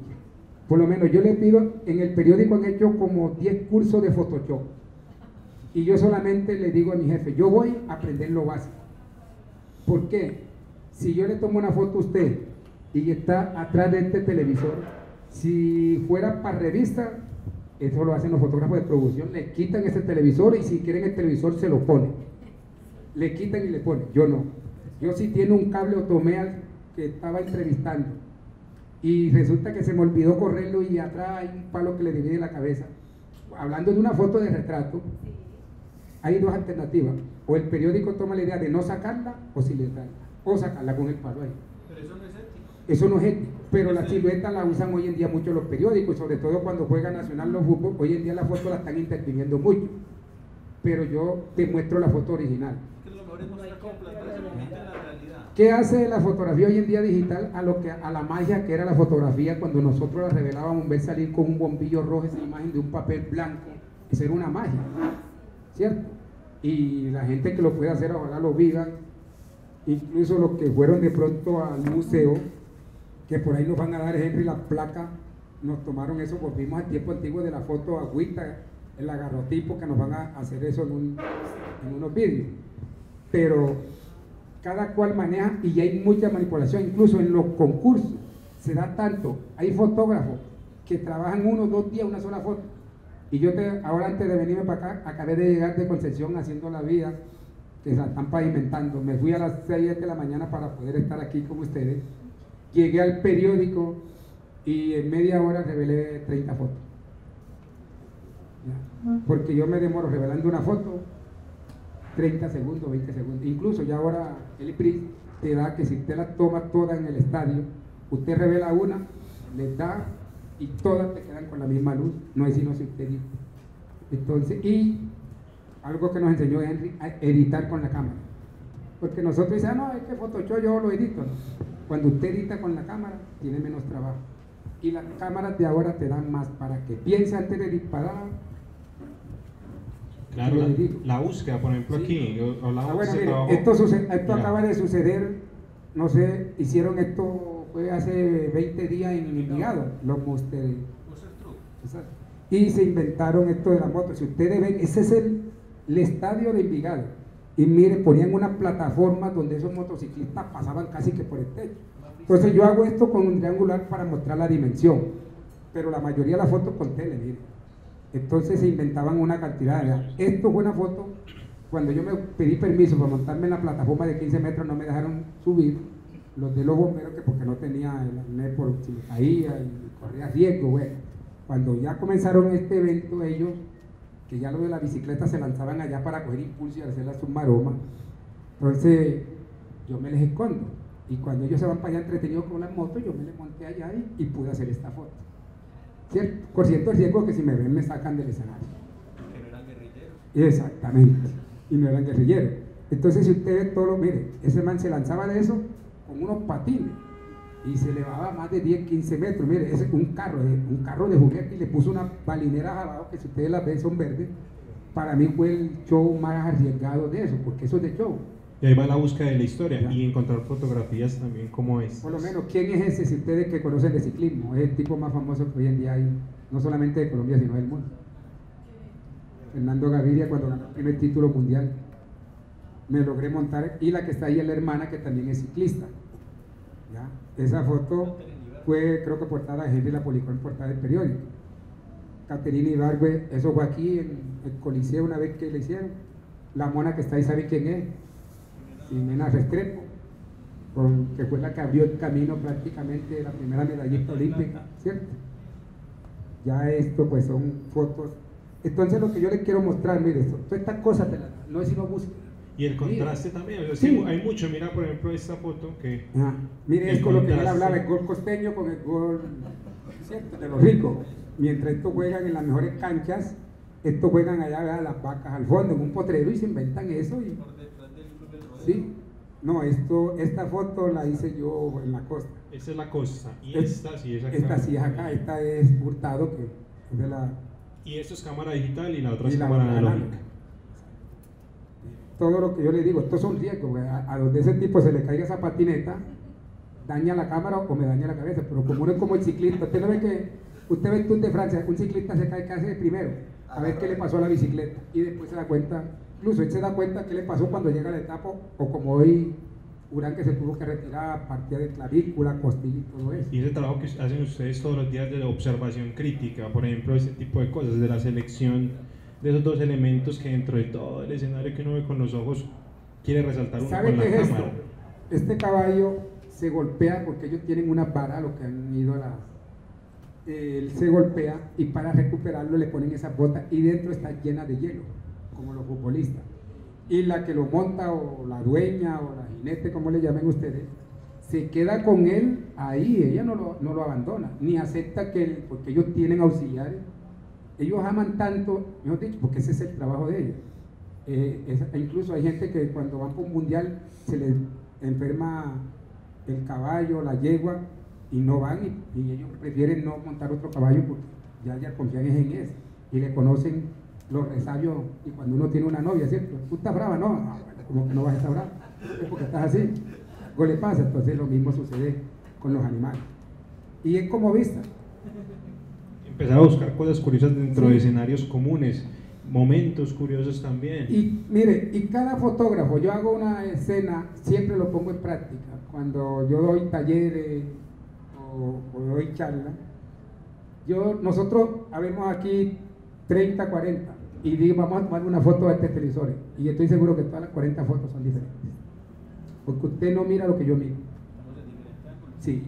Mire, esta es la foto que yo le digo, baño de arena. Este era el atleta más malo de ese torneo que fue en Cali, fueron los Juegos del Pacífico, que incluso Henry fue a reforzar a ese tiempo a Manuel porque no le había ido tan bien y tuvo que arrancar de Bogotá, fueron los primeros Juegos del Pacífico que se hicieron en Cali.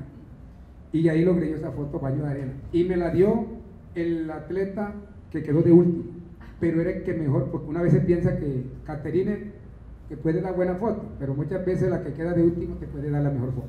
Y con esa foto gané el premio, el último premio Postobón en el año 96, que de, ahí para acá no lo volvieron a hacer más. Este atleta también era de los, no digamos malo, porque para mí no hay atleta malo, pero de los que estaban ahí quedaba de último. Si eran 10, era el, el décimo. Era el que menos saltaba, pero eran los que mejores fotos daban. Ya estos, pues si son mundiales de patinaje, los fotofinis, muchas veces de esto, si usted ve, son cosas que. Este es un trabajo que vengo realizando, que eso hace los paralímpicos. Los paralímpicos. De los, de los que poco se habla, porque también esa es la labor del fotógrafo, al fin y al cabo, hacer visible lo invisible. Y estas fotos muy pocas veces tienen espacio en los medios. Entonces, muchas veces estas fotos son para la web. Afortunadamente, la web nos da esa oportunidad de mostrar ese trabajo que no se puede mostrar en los impresos, tanto el Instagram. Si ustedes me preguntan cuál Instagram, yo tengo 10 fotos. Incluso mi hijo que está allá grabando, que es Pedro Pablo, eh, me dijo que se iba a encargar, una hija que tengo que es periodista en Bogotá, que se van a encargar de las redes, porque yo admiro ya a Henry, porque Henry es muy organizado en eso yo, mi foto la monto en Instagram en colombiano, pero en el Instagram mío tengo 10 fotos y tengo como 500 seguidores, ¿cierto? No monto fotos. Y eso que tengo una ahí cuando yo tengo un negocio de pollo y aparecen la mayoría son de fotos de pollo asado y esa vaina. Incluso hasta ese negocio fracasé y toda esa vaina, y bueno, ahí estoy pagando deuda. Y mira, lo que pasa, y mira lo que pasa acá, por ejemplo, en la presentación de la fotografía. Si ustedes ven esto, ustedes lo ven a diario. Una vez yo se me dio por montarme en un puente fui a hacer un trabajo en el metro y comencé a ver la cantidad de motos que pasaba y cada persona tiene los cascos como, ¿cómo se dice eso? Personalizados. Si usted ve, el uno tiene por allá un, bueno, cada cual le pone lo que le dé la gana a los casos. Entonces se me dio y son propuestas que yo le hago al periódico. Y esto no es que yo digo, ah, sí, esto va a salir mañana, no, porque si yo lo monto y el editor que tengo no le gusta, o si al editor que tengo le gusta, pero a la directora no le gusta, eso va para el suelo. Se perdió el trabajito ahí. Afortunadamente, pues yo sé digo con un loco con suerte. Pero Jaime, no se pierde, se gana. Ah, no, claro. Porque de hecho muchas cosas que no publican los medios de comunicación resultan ser más interesantes para uno y en el futuro son más documentales. Porque de hecho los medios, esa es una pregunta que te iba a hacer, ¿hay censura? Todas. Por ejemplo, el WordPress foto nunca se publicó. Se publicó después que no lo. O sea, cuando la tomamos era violencia y ellos evitan mucho que era sangre y ellos evitan mucho porque dicen que el país es muy pluralista, que no sé qué, y entonces si se publicaba una foto de todo eso, el día siguiente llegaban mil correos censurando esa foto. Pero el día que nos ganamos el premio, la publicaron todas las dos. Y fue de las pocas veces porque cuando Henry se ganó el segundo premio, él mandó 12 fotos y solamente le pusieron una como ganadora. Y lo bueno que nosotros tuvimos, que mandamos dos y todas 12 fueron seleccionadas. O sea, que era tan parejo el trabajo que no nos eliminaron ninguna foto. La sensación que tiene usted, por ejemplo, del día de trabajo y, le dedica su tiempo, el amor a, su profesión y, no sale su trabajo. Sí, como te digo, hoy en día sí, es normal, porque no, uno siente, hoy en día no siente tanto porque, como te digo, si no sale ahí, por lo menos nos las dejan meter a la web, ¿cierto? Que antes no era eso. Pero uno que hace un trabajo, por lo menos esta foto de acá, Ese fue un gol que le hicieron al arquero Bonilla, que era juvenil en ese tiempo. Incluso esa foto fue premiada por lo del Sur como la mejor foto deportiva del año. Y bueno, ahí nos dieron una plática por esa foto. Entonces siempre, ya, miren, todos estos gestos se dan. Ese de Medellín. Y esta Esto como de nacional. también. Mire la foto y mire la que ahí sí. O sea, hay algunas que te dan la página completa, en otras no. Pero bueno, esa es la lucha. Esto para mí es lo más difícil de hacer. Tiene uno que disparar mucho, pero después usted le tiene un truco. Cuando la flecha, ellos disparan, ellos antes de salir la flecha tienen un sonido como un taque, pero eso es, eso casi uno no lo escucha porque hay- es un campo abierto. Este trabajo que vamos a ver aquí fue el último de este año que estuve nominado. Éramos 326 mil concursantes y quedamos 7 en el premio mundial Sony, que Henry se lo ha ganado dos veces. Es lo que yo le digo, usted vaya y usted que ve la flecha, el arco allá, y, estos detalles no lo ven. Entonces es como mostrar lo que otros no miran. Y es una cosa simple, que ustedes lo ven, no es sino ponerle cuidado. Entonces yo le digo a la gente, hombre, todo lo que a usted le parezca, si usted va caminando y se quiere tomar una foto a los zapatos caminando, quien quita que le dé una foto berraca, hágalo. Y si no le sirvió, pues borre la fotico y no pasa nada. Pero haga, entonces todo lo que ustedes quieran hacer, háganlo. Si quieren tomar una foto con la cabeza para arriba, como quiera, háganlo. Yo le digo a la gente, no se, no se prohíba de hacer lo que usted le nazca. Por lo menos, mire, esto fue en los llanos. Ya ahí pasamos a, a- a otras curiosidades y a viajes. ¿Esto qué es? La deforestación que está entre Bagre, toda la zona de Bajo Cauca prácticamente, y son más de 200 mil hectáreas. Si ustedes analizan, mire cómo sale el agua y todas estas aguas van a dar a los ríos, con mercurio, prácticamente ver una matica por ahí de vez en cuando. Eso es una cosa, los que no han ido por allá, y esto no se ve de abajo, se ve de arriba. La mayoría de estas fotos son hechas en helicóptero. pero es pura contaminación. Eso te dice, ah, que agua tra- transparente, y eso que está abajo, la mayoría es mercurio. Ellos- ¿Cierto? Y cianuro. Exacto. Entonces son deforestaciones. Ya esto es en la Guajira. Es como la búsqueda, mire, estos son los que sacan sal. Entonces a mí me parecía como curioso ver ese niño allá y esa huella. Entonces, esta foto la hice hace 15 días que estuve en la costa en un foro de los derechos humanos. Hay una zona en la avenida primera que están las iguanas que se llama el Malecón, la Tatacoa. Esta foto, ¿cómo hace usted para La- para la- manejar el contraste, por ejemplo, de Eh, una luz artificial y el del firmamento? Yo te respondo, pero esta foto en realidad yo la aprendí a Henry, porque Henry era que el especialista de la lluvia de estrellas con Ramiro Velázquez, que era es de eso, y esta se hacen con exposiciones largas. La mayoría de estas fotos se hacían con las cámaras análogas, porque casi las fotos, las cámaras ahora, creo que, bueno, ya tiene la mía, la que tengo ahora, ya tiene hasta 30 segundos. Pero estas son fotos de 1, 2, 3 minutos, más o menos de exposición, Exposición. con lente cerrado a lo máximo si es un 22 y con el liso lo mínimos que si ojalá fuera un 10, claro. Entonces es como todo esto, la mirada, ah, hasta los caballos lo observan a uno cuando usted llega y es un desconocido, los caballos se asoman y se esconden. Entonces ya dice, ahí hay fotos. Ya. Esta foto la traje porque fue la primera foto que yo publiqué en el colombiano cuando vine en el año 2001. Caballo más raro con mano. Sí, Eso era en el hipódromo, que entonces era muy chistoso porque él es el que alimenta al caballo. Entonces el caballo lo hociqueaba y lo tiraba contra eso. Y me quedé ahí como un rato haciendo esa foto. Y fue la primera portada que yo saqué en el colombiano. Y ya son, por lo menos, mire, si ustedes fueran a hacer esta foto, terminemos en un taller también, ¿cómo la harían ustedes? Los que estudian fotografía y los que les gusta la fotografía. Y es lo más fácil de hacer esta foto. ¿Mm? Muchos dirán, no, ese Jaime es un berraco, estaba en la selva con los tigres, los leones y todo, ¿no? No, yo siempre le digo, yo trabajo siempre con un 70-200. Esta es un triangular. Si ustedes, devuélvete, Cristian, la, la otra foto. Mire, todos estos animales están en cautiverio. Para hacer esta foto hay que hacerla, por No, del por eso. pues, y muchos están en... Zoológico. eh, sí, otras que quedan llegando a, a Planeta Rica, que es criadero de caimanes. También allá están, sí. Para que la- las rejas no le den eso como esta, mire, este cuadrangular, usted tiene que utilizar velocidad de más de 1000, 1500, 2000 para que la reja desaparece. Y pegarse a la reja. No, y, no necesita tampoco tan pegarte tanto, pero sí te tiene que acercar. Mire esto, esto fue en los llanos. Entonces yo veía, yo, estos paqueros pasan por ahí, había esa laguna y me pareció curioso. Toda la foto que traje, esta fue la foto que el señor Henry metió en portada. Y los caballos que salían en las lagunas, que brincaban, él dijo, esa foto me refleja lo que es los llanos. Entonces, mire, esto lo hice por el Carmen de Viboral. Uno va en el carro y ve esto como, si me entiende, cultivo de papa. Esta la hice una vez bajando y fue de la foto más votada en Instagram, como casi 16 mil seguidores tuvo. La cárcel también, que hay obras de arte. Entonces, lo que yo le digo, ya manizar. Es como mirar, yo le digo a la gente, las obras de teatro, mire que nosotros hacemos, vea, por lo menos las carabelas, esa misma yo, y son personas que están paradas al lado de ese diseñador. Vean los curiosos, no, pero yo no.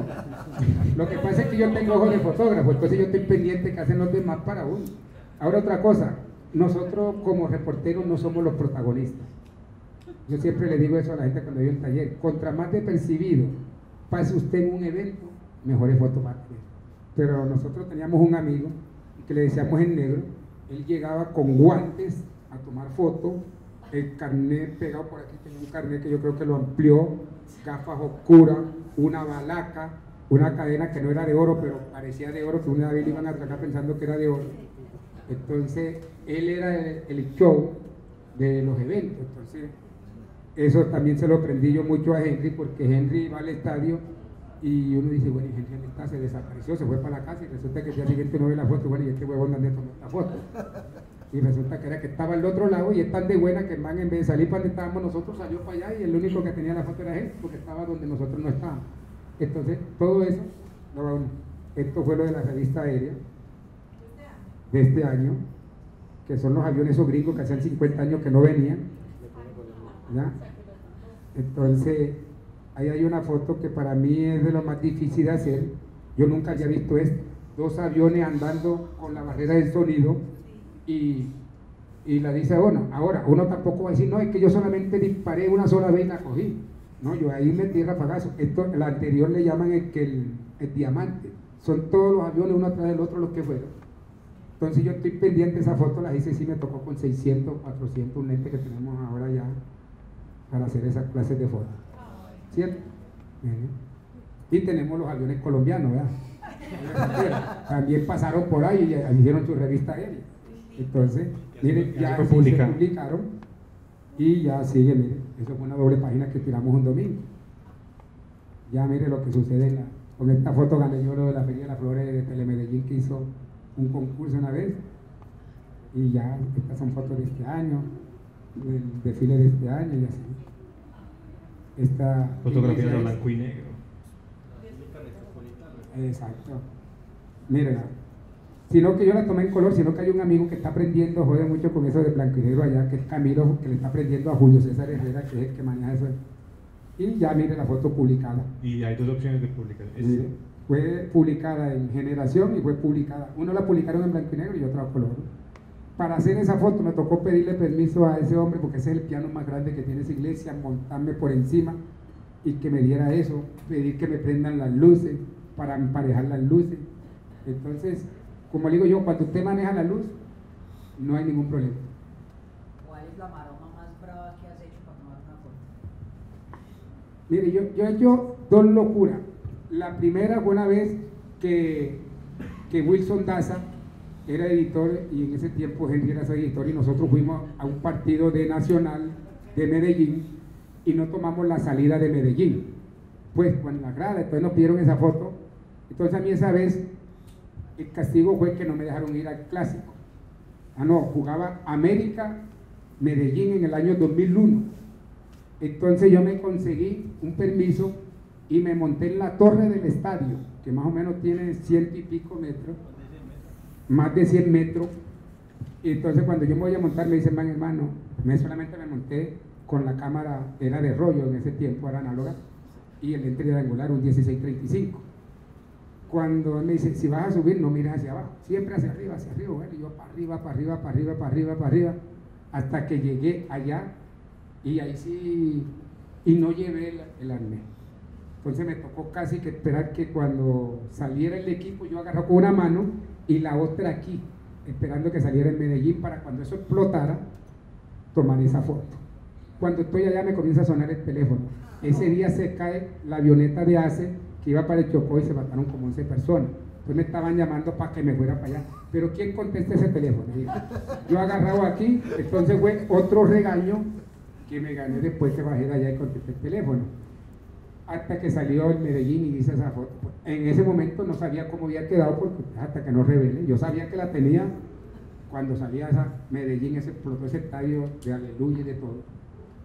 El problema fue para bajar. Cuando yo miro para abajo y miro ese hueco así, a mí me comenzaron a temblar las piernas. Y bueno, total que como pude, volví a mirar hacia arriba y comencé a bajar sin mirar hacia abajo. Y hasta que logré bajar. Y miraba hasta al frente y los cables de los reflectores, 600 vatios. Y pucha, que tengo un cable sopelado, aquí quedó. Entonces, son cosas que se te vienen a la mente. Fue tanto así que esa foto la tiraron, hubo una contradicción que Henry la peleó porque ese día perdió Medellín. Entonces decían que cómo iba a ser, bueno, Henry hasta discutió, era Esperanza Palacio la que estaba esa vez de editora. En última, resolvieron metiendo la foto a una página o a doble página, que sirvió como afiche.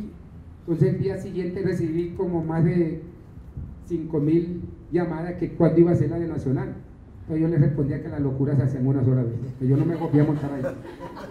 ¿Cierto? Después la hizo fue Manuel, que fue la que de Nacional, porque le dicen el gato. Ese man sí se encarama por donde sea y yo no sé cómo se va y cómo se sube.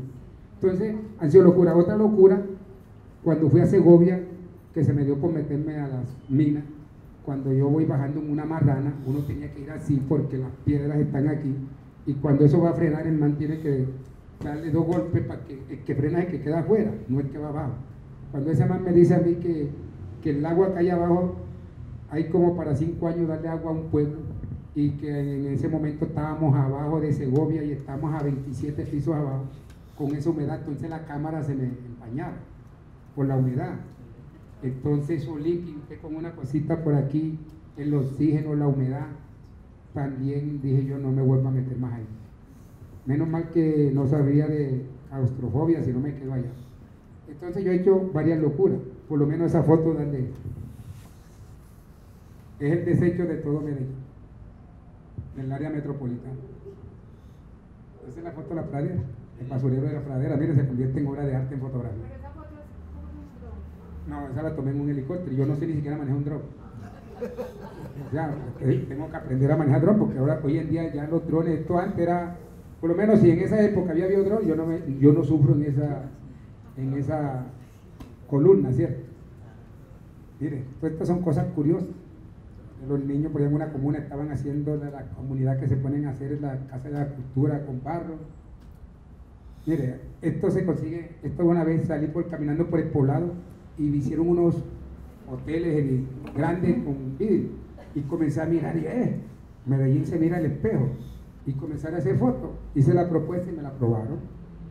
Ya, bueno, mire, esto es por lo que uno trabaja, ¿cierto?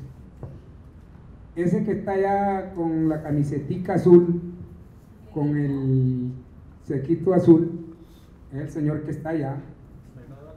Y hace más o menos un mes se me graduó de ingeniero electromecánico.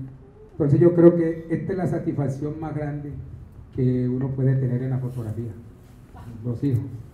Entonces, la verdad, creo que, que para uno ese es el motor y muchas veces las reflexiones vienen por ello. Cuando yo era soltero yo era un loco, ahora pienso. Porque hoy en día uno arriesga la vida por una foto y llega al periódico y ni siquiera te la meten ni, en la web.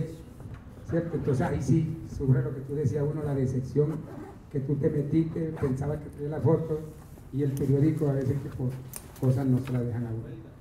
¿ya? Y estas son fotos, miren. Esa foto fue tomada en en los trenes con los... Ah, usted estaba ahí. Exacto, mire. Y yo incluso aparezco ahí, es una foto de un reflejo. Estábamos todos en el instituto. Ah, usted está ahí. Está Erika. E incluso ahí está Erika, la muchacha que yo le hablaba, la señora que yo le enseñé, Margarita, que era mi alumna en esa época. Y mire, entonces es lo que yo les digo, que la fotografía usted hace lo que quiera. Es el arte más maravilloso que existe en el mundo. Y la frase del señor Henry que se la voy a, a robar, haciendo visible lo invisible. Lo que muchos no ven, uno lo ve. Y ahí está la verdad.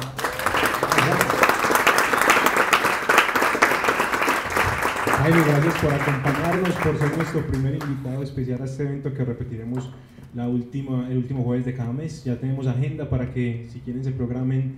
Viene Jairo, ¿me recuerdas Jairo Ruiz. Jairo Ruiz con el tema de humor en la fotografía.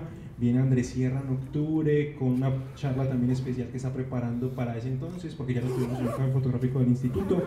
Viene Diego Arango con su tema, pues ahorita sacó un libro que se llama No Mirado, pero vamos a hablar también de literatura en la fotografía y finalmente cerraremos en diciembre con una charla visual y musical con Don Alirio, que es un gran coleccionista de música eh, caribeña, antillana, eh, entonces tiene todo un montón de, de historias detrás de esas, de esas música recopilada. Eh, si tienen de pronto alguna pregunta también, si quieren de pronto para cerrar este, esta primera experiencia y si no, pues la invitación también es a socializar ya a la salida. Sí. Gracias a ustedes por asistir, gracias a ustedes por estar acá y por apoyar este bello arte de hacer visible lo invisible. Sí, el consejo que yo le diría como reflexión es, uno antes de coger una cámara, por lo menos, si usted se monta en un carro, usted debe saber para dónde está la primera y para dónde está la segunda, lo mismo sucede con la cámara. Porque muchas veces uno se monta en un carro y una vez casi mató a mi hijo que iba atrás en una moto porque le metí la reversa creyendo que era la primera, o sea, metí la primera creyendo que era la primera y resulta que era la reversa y él estaba atrás y ese carro se le fue para atrás. Entonces uno, eh, lo mismo sucede con la fotografía. Cuando uno tiene una cámara, uno, ahora, ¿qué es lo básico? Porque la cámara, ¿qué es? Velocidad y lo que yo les decía. Para mí lo más importante, el consejo que yo le doy, manejen las luces. Si usted maneja las luces, no tienen una excusa para que don Henry, los que estudian en el instituto, Cristian o Mateo, le llame la atención. La fotografía no luz. Si no hay luz, no hay fotografía. Usted se mete en un cuarto oscuro y haga la prueba, cierre todo y que no entre una luz, no va a tener una foto. Pero si por allá, si sea por un huequitico chiquitico, entra una luz, allá hay foto. ¿Cómo la logra? No sé. Incluso yo he ido en carretera y tengo que tomar una foto en, la, en el camino a las 12 de la noche porque, y no tengo un plan. Le digo al conductor, hermano, ponme el carro, pon la luz ahí, pongo la cámara sobre el capó con velocidad lenta. Ustedes saben que velocidad alta es para deporte y contra menos velocidad. Entonces ustedes tienen tres formas de ganar la velocidad, que es en el diafragma, que es en el liso y que es en la velocidad. Ahí están las tres, las tres luces que, que tiene la fotografía. Si usted ve que tiene lo que yo hago, yo no trabajo sino en TV y manual nomás. Pero si yo me monto en el carro, monto la cámara en TV y siempre ando con ella en mí. Rara vez yo bajo el liso de 400. Nunca para mí, porque yo soy reportero, yo no estoy como para una revista. Entonces yo necesito tener velocidad más que tener, porque muchas veces tengo la cámara que estaba tomando una foto en una parte oscura, se me olvidó montarla y voy con una velocidad de 125, resulta que el carro atropelló al otro y cuando tomo la foto, toda movida. Ni siquiera desenfocada, sino movida. Porque a veces uno dice, no, esa foto está desenfocada, no, muchas veces está movida. Entonces, ese es el consejo que yo les doy y lo que le vengan en mente. Y como le digo, los que están en el instituto, los que no aprendan fotografía ahí, la verdad que yo le digo, hermano, dedíquense a ingeniero, abogado, lo que quiera, pero y a Henry, a Cristian, a la biblioteca, a todos ustedes darle las gracias, compartir esto, porque la verdad que yo le digo, a mí una vez me dicen, eh, defínase dos palabras, siempre lo dije, humildad y responsabilidad, no sé qué más bueno tenga. Y lo mismo se lo digo a ustedes, aprovechen a Henry, la verdad que Henry yo creo que ya, como se lo dije, yo quería en una charla personal con él, Henry no necesita hoja de vida, la hoja de vida de Henry son las fotos. Y lo que Henry ha hecho y el ojo que tiene Henry, que yo decía, y era de lo que, las anécdotas que teníamos, llegábamos allá, rara vez me pasó a mí, pero algunas veces iba y, Henry era lo que decía, no, que usted, ¿cómo no hiciste esta foto? No, es que yo no pude, no, hubo cómo hacerla. Él decía, pídase un carro y nos vamos para el sitio y verá que sí se puede hacer. Y yo iba allá y la hacía él y decía, hágala usted que usted es capaz de hacerla. Y llegaba yo y entonces eso, cuando tiene un orientador, antes no lo tenía. Antes usted tenía que inventarse. Hoy en día usted no sabe, yo estoy seguro que cualquiera llama a Cristian, a Henry, y le dicen, Henry, voy a hacer esta foto, ¿cómo la hago? Por lo menos no le coge la cámara, pero le da la pauta para que usted haga eso.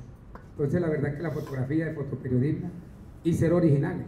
Si usted se va a dedicar a la revista, pero la verdad como decía el señor de la ética, hay que tener eso y, y yo me he caracterizado y si ustedes ven la mayoría de mis fotos, yo no le puedo decir un toro brinque, ni a un caballo, entonces la mayoría de los premios que yo me he ganado ha sido con fotos de acción.